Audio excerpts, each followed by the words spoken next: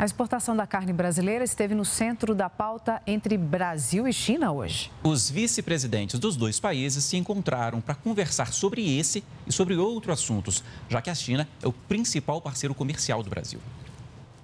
No quinto dia de viagem à China, o vice-presidente Hamilton Mourão se encontrou com o vice-presidente chinês Wang Chai e participou da quinta sessão plenária da COSBAN, a comissão de diálogo entre os dois países que amanhã completa 15 anos.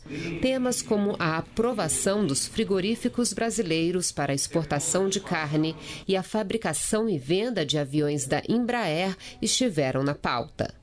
O vice-presidente destacou que a viagem vai ajudar a reduzir as barreiras à carne brasileira. As principais questões que é a, verificação das nossas plantas frigoríficas, a questão das aeronaves da Embraer, a questão das sementes geneticamente modificadas. Essas questões foram apresentadas. São pequenas questões burocráticas que se resolvem na conversa. Perguntado sobre o que mais lhe impressionou na viagem e que traz de aprendizado para o Brasil, o vice-presidente foi direto. Organização e método.